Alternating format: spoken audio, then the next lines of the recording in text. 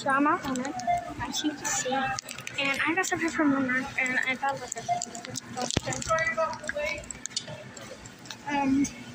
You the things posted.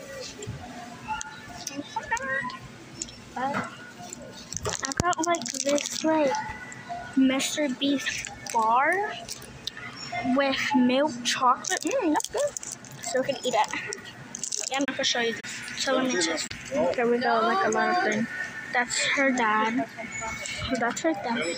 That's my mom. I freaking need help, so that's my annoying sister.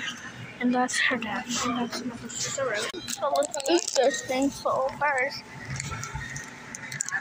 Oh my god, it's so much. I like paid like that much.